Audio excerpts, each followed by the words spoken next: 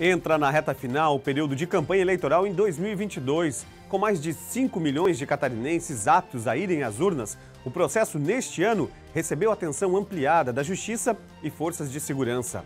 O TRE realizou a última reunião antes das eleições para montar um esquema de segurança que recebeu mudanças neste ano.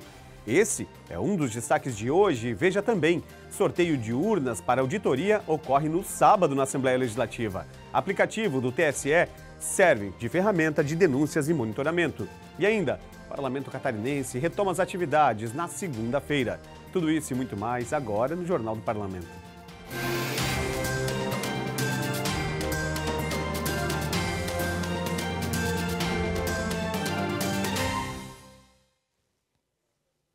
Muito boa tarde para você. Vivemos um momento onde as pessoas estão sempre no limite, estressadas, sobrecarregadas, e o coração é a maior vítima dessa pressão emocional. Aquela frase típica, haja coração, cabe bem, principalmente nesse período eleitoral. Mas será que as pessoas cuidam desse órgão vital? Hoje é o Dia do Coração, Dia Mundial do Coração. Pasmem, ele é o motivo de maior volume de mortes por doenças no Brasil. Então é bom estar atento aos batimentos, sempre entre 60 e 100 batimentos por segundo. Isso para que esteja aí com ele bem tranquilo. Uma data para refletir sobre a importância de manter o coração saudável.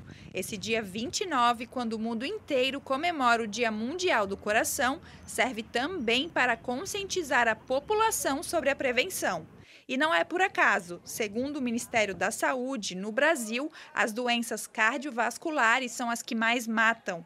E somente em 2022, o cardiômetro, um sistema de contagem de mortes por doenças cardiovasculares da Sociedade Brasileira de Cardiologia, mais de 300 mil brasileiros morreram por conta de doenças do coração.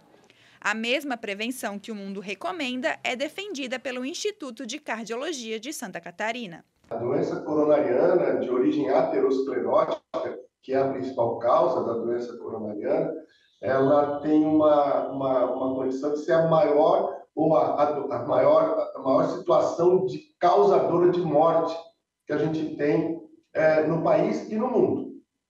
Então, existem algumas causas.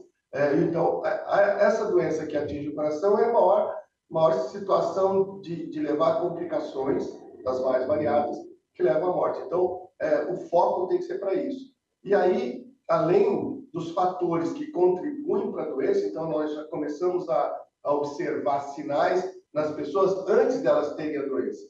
Por exemplo, o indivíduo que é obeso, o indivíduo que, que é sedentário, que não tem uma dieta adequada, é, que, que, que tem um colesterol alto que não trata, que é hipertenso e não trata. Então, começa aí, antes da manifestação efetiva da doença. A prevenção básica é estilo de vida. É, é, um, um, estilo de vida adequado, ou seja, a alimentação balanceada e adequada, não exagerando é, é nas gorduras de origem animal e favorecendo somente é, fibras, frutas, verduras, né, carnes magras. É, esse é o principal situação. Então, a dieta é fundamental. Outra situação que também interfere no estilo de vida é a, a, a, o combate ao sedentarismo. É, o indivíduo tem que ter alguma atividade física. É, a proposição mínima que a gente tem para prevenir as doenças cardíacas é que o indivíduo faça, o indivíduo normal, ele faça três vezes por semana, então não é muito, uma hora de exercício por dia nesses três dias. A identificação precoce dos fatores de risco é essencial para evitar graves complicações cardíacas. Cultivar a felicidade e hábitos saudáveis são uma das receitas para a prevenção de doenças cardiovasculares. O que eu quero dizer para a população no Dia Mundial do Coração? É, cuide. É, ele é o primeiro que começa a funcionar no nosso corpo. Ele é o último que para de funcionar efetivamente. E a gente é, não pode maltratá-lo. E para a gente não maltratar, a gente só precisa é, ter equilíbrio na vida, fazer as coisas de forma adequada, não cometer exageros e fazer principalmente prevenção. Mantenha atividade física, mantenha uma boa dieta e seja feliz, porque a felicidade é uma coisa que ajuda muito o coração. Isso é muito importante. É desafio para quem tem uma sobrecarga de trabalho, rotinas diárias, mas vale a pena o exercício, afinal, é para uma saúde aí um pouco mais tranquila também, né? Vamos falar de eleições? Olha só, o Tribunal Regional Eleitoral se reuniu com forças de segurança para organizar a operação para o próximo domingo. Em 2022, o serviço ganha novas diretrizes. O grupo reúne diversas instituições de inteligência, segurança e infraestrutura que estarão a postos para garantir a transparência e a lisura de todas as etapas do processo eleitoral. O presidente do TRE conduziu a reunião. O gabinete de pronta resposta, nós não vamos chamar de gabinete de crise, porque não existe crise alguma a ser de, é, demandada. Nosso gabinete de pronta resposta é desde a Casan até a Polícia Federal. O que, que é isso? É um gabinete que, se alguma coisa acontecer no dia, nós teremos as entidades devidamente pontuadas localizadas e ao lado do TRE durante todo o domingo, seja Casan, seja Celeste, seja a Polícia Federal, Polícia Militar, todos os acontecimentos passarão por esse grupo e esse grupo filtrará e procurará a solução imediata. A urna eletrônica tem bateria com autonomia de 13 horas de duração, caso exista interrupção no fornecimento de energia. As forças de segurança do Estado estão preparadas para o trabalho de garantir a tranquilidade no dia da votação. A Polícia Militar preparada para essa eleição, né? nosso planejamento já começou já alguns meses atrás, juntamente com o TRE. Estamos mobilizados, preparados para, para atuar já na véspera da eleição. A nossa atuação ela é vigilante permanente em todo o Estado, em todos os pontos onde haverá é, locais de votação, é, interagindo com os demais órgãos de segurança, né? fazendo valer as regras estabelecidas pelo TSE. Tal, sorte que estamos preparados, orientados, contamos com a colaboração da sociedade, no sentido de, de acatar as nossas orientações. O comandante-geral da Polícia Militar também aborda o trabalho que será realizado na Assembleia Legislativa na auditoria das urnas eletrônicas. Então, juntamente com o Corpo de Bombeiros, né, nós estamos preparados para a votação paralela no sábado, né, com toda a nossa estrutura à disposição, diante do sorteio que será realizado, de empregar nosso transporte eh, rodoviário com viaturas para transportar essas urnas até Florianópolis e havendo a necessidade de um transporte aéreo, né, eh, tanto a Polícia Militar como o Corpo de Bombeiros com as suas aeronaves irão apoiar o TRE para que possa essas urnas chegar aqui em, em curto espaço de tempo, né, para para que possa né, finalizar esse, essa votação paralela. Então, tanto a Polícia Militar como o Corpo de estaremos participando também no sábado desse momento importante né, para, para o processo eleitoral.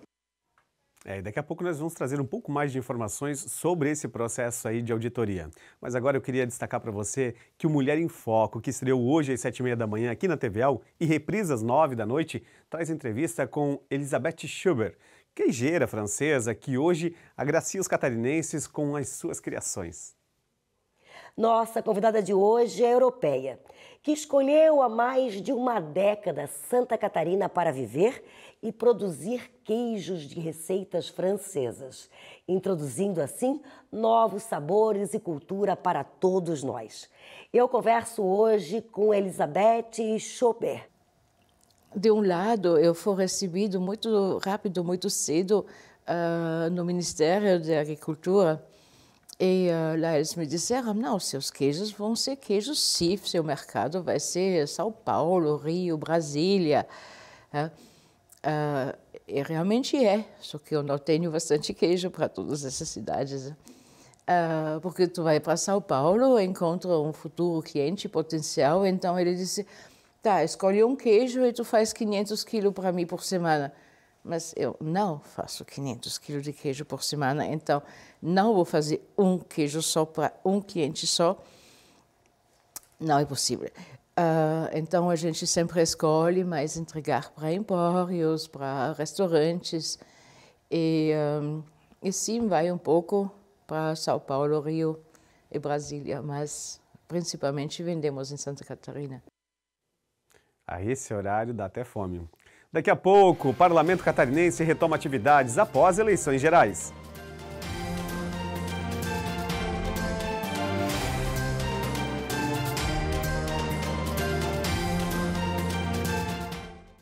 Já estamos de volta com o Jornal do Parlamento e o presidente do TRE traz informações importantes sobre a identificação biométrica, que deve ser o diferencial dessas eleições, mas também o serviço de apuração dos votos até o final do dia. Acompanhe.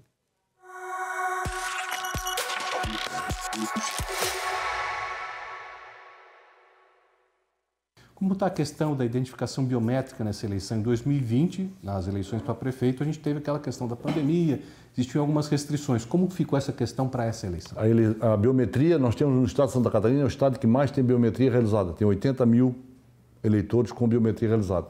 Na terça-feira recebi uma ligação do ministro Alexandre de Moraes que vai usar o estado de Santa Catarina como piloto já para a próxima eleição para fazer o teste da biometria que acontecerá também a novidade nessa eleição, na frente do Tribunal Regional Eleitoral, que é a, a escola Henrique Stodic, ali será montado um plano piloto para a biometria. O que, que é isso? O eleitor vai fazer a sua votação normal. Votou, a gente convida. Seu Paulo, o senhor quer votar na urna eletrônica usando a biometria, que é a nossa próxima eleição será 100% biometria, porque nós temos pouco ainda para terminar. E não terminou por causa da, da, da pandemia. Então, esse plano piloto já é um compromisso do TSE com o Exército, foi combinado dessa forma, que esse que a próxima eleição será 100%, repito, via biometria. Ali o cidadão votou, a gente convida para ele passar na urna eletrônica, para ele tirar a chave da urna com a biometria para ela funcionar e ele vota. De brincadeira, para ver se aquilo efetivamente vai passar, eh, funciona normalmente como a gente pretende. Mas na eleição deste domingo, é, as pessoas. Sem biometria. Sem biometria. É só documentação, documentação. que leva. Principalmente o documento com, com, com, foto, né? Pode ser qualquer um. Ali eles identificam na hora se o senhor é eleitor naquele local ou não. Enfim, tendo uma foto, está resolvido. Esqueceu o título, não tem problema. Qualquer documento com foto, seja do trabalho, seja uma carteira de motorista, seja uma carteira de identidade, enfim. Esqueceu o título em casa, não tem problema. Há a possibilidade de se identificar o eleitor. Santa Catarina sempre foi referência no Brasil na questão da totalização dos votos, até porque aqui fomos pioneiros das iniciativas, não só na informatização da totalização, como no processo de votação. O TRE trabalha com algum horário, com alguma meta de horário para encerrar os seus trabalhos nesse dia, no dia 2? Não, a totalização hoje ela é totalmente realizada pelo Supremo é, Tribunal Superior Eleitoral, não é mais por Estado. Por quê? Porque chegar à conclusão, e isso foi é, também apurado pelo Exército, que diz o seguinte: olha, vocês têm 27 janelas abertas para a possibilidade de um hacker entrar no resultado, ou seja, no encaminhamento do resultado, perturbar a saída do resultado. Né? Eu vou explicar. São 27 janelas, nós não podemos correr esse risco. Transferir então tudo para o TSE, uma janela só. E lá vai ser feita a apuração. E lá vai sair a totalização. O que eles não querem é 27 janelas de alguém que possa perturbar a leitura do QR Code que está no boletim de urna. É só isso. A totalização é lá. Por isso que o TRE, de forma pioneira, criou o QR TOT. Para quê? Para que o senhor, junto com o Ministério Público, se assim quiser, o senhor também pode fazer, se o senhor tiver capilaridade no Estado, o senhor pode fazer a, a, a apuração in natura, na hora. Saiu, saiu o boletim, o senhor pode fazer a leitura. Então, esse resultado aqui é o que o TSE vai divulgar no final da noite. Agora, não trabalhamos com um, com horário, por quê? Porque o Ministério Público tem a capilaridade dele e tem o momento dele.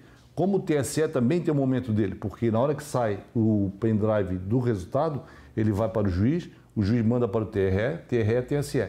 Vai ter um delay nesse ponto aqui, nesse, nesse, terreno de tempo. O, o, o, Ministério Público não, o Ministério Público vai ler na hora.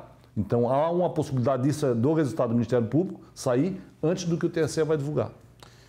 Desembargador, no final dessa entrevista, gostaria que o senhor deixasse uma mensagem para o eleitor catarinense que vai às urnas neste domingo. A mensagem, repito, é calma.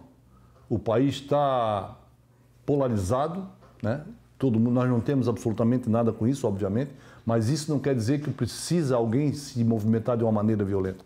A eleição é o ato mais sagrado que existe no, no país. Então, por isso, tem que ter calma, tranquilidade e eleger aquele que você quer para mudar o que não está bem para você.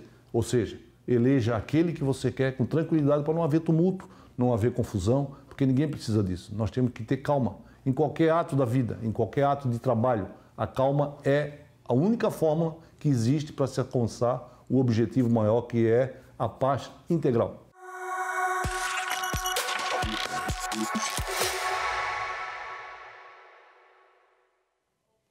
É, e essa paz também pode ser refletida no voto, na definição das urnas eletrônicas. Por isso, o processo eleitoral é transparente e há necessidade de comprovação disso o tempo inteiro, principalmente porque instituições cobram. E é sobre isso que nós vamos trazer um pouco agora das informações de um ato que será realizado na Assembleia Legislativa, que vai tratar das urnas eletrônicas e de uma auditoria. A ideia é verificar, sortear e definir quais serão auditadas. Acompanhe. Santa Catarina terá 16.200 urnas funcionando nas eleições. Cada urna representa uma sessão eleitoral.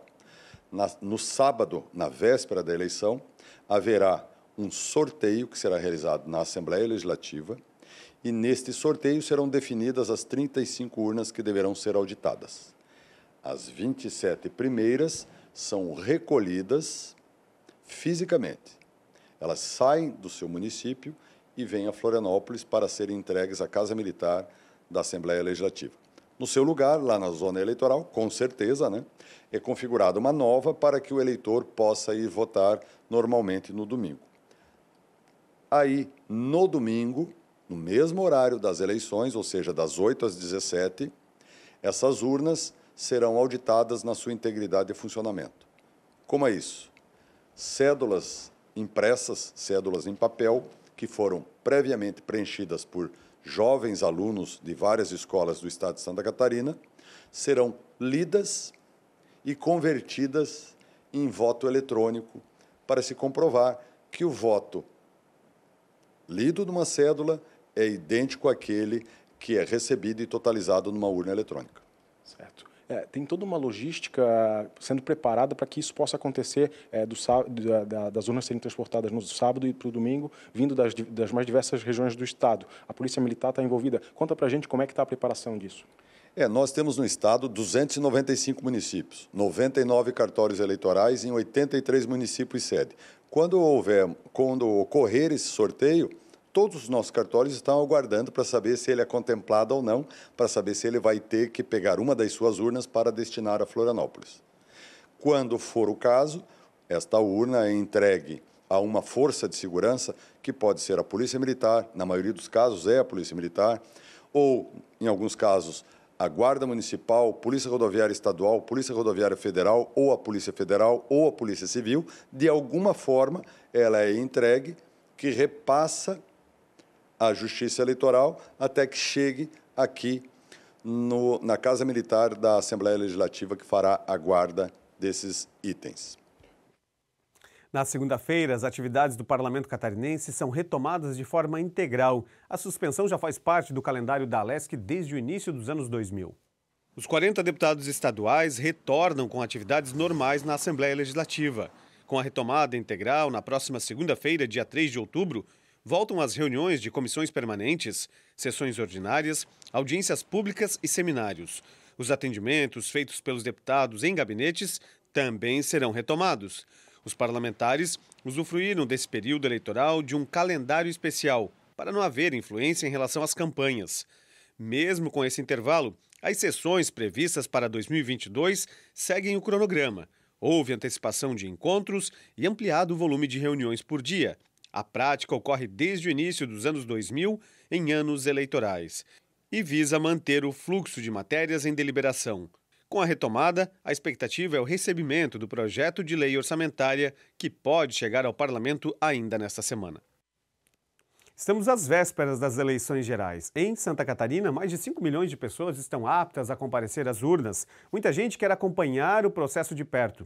E numa era em que o ser humano busca tudo na palma da mão, os aplicativos podem ser importantes ferramentas de monitoramento e controle. O Tribunal Superior Eleitoral conta com quatro plataformas. Milhões de brasileiros já baixaram os aplicativos e aí, sem dúvida, o queridinho do domingo pode ser o Resultados mas vamos conhecer o que cada ferramenta oferece. Os números são da Justiça Eleitoral. Aqui em Santa Catarina, nas eleições de 2022, mais de 5 milhões de eleitores estão aptos para exercer o direito ao voto em cerca de 16 mil sessões eleitorais distribuídas nos 295 municípios catarinenses. Só para as 40 vagas de deputado estadual na Assembleia Legislativa, a disputa envolve quase 600 candidatos. Para contribuir com a lisura de todo o processo, o Tribunal Superior Eleitoral elaborou e lançou alguns aplicativos que podem ser baixados gratuitamente. Um deles é o aplicativo Boletim na Mão. Com ele, qualquer cidadão pode conhecer os resultados apurados nas urnas diretamente do celular. Desenvolvido pela Justiça Eleitoral, o aplicativo fornece acesso ao conteúdo dos boletins de urna impressos ao final dos trabalhos de cada sessão eleitoral, quando a votação é encerrada. O interessado precisa fazer a leitura do QR Code no boletim impresso e automaticamente passa a ter acesso a uma cópia digital do boletim no celular, contendo o total dos votos recebidos por cada candidato naquela sessão, além dos votos brancos e nulos. Outro aplicativo disponível para os eleitores é o Resultados. Ele permite acompanhar a contagem dos votos em todo o Brasil. Possibilita a consulta através do nome dos candidatos ou dos cargos em disputa. O aplicativo, também elaborado pela Justiça Eleitoral, ainda informa quem foi eleito e quem foi para o segundo turno. E na reta final dessas eleições é importante lembrar que desde ontem ninguém pode ser preso a não ser em flagrante delito. Para candidatos, há 15 dias esse tipo de ocorrência não pode ser registrada, a não ser em salvo-conduto. Outra informação é que a partir de hoje, aliás, hoje é o último dia do programa eleitoral nas cadeias de rádio e TV. A partir de amanhã, as programações das emissoras retornam ao normal. E nós estaremos aqui no domingo com uma transmissão ao vivo a partir das sete e meia da manhã, trazendo os principais momentos das eleições, votação, acompanhando candidatos à majoritária e dando um cenário de toda a eleição geral em Santa Catarina, com o resultado no final do dia. O Jornal do Parlamento fica por aqui. Outras notícias você confere no site, nas redes sociais e amanhã tem destaques da semana. Eu volto no domingo às sete e meia da manhã e espero você. Até lá!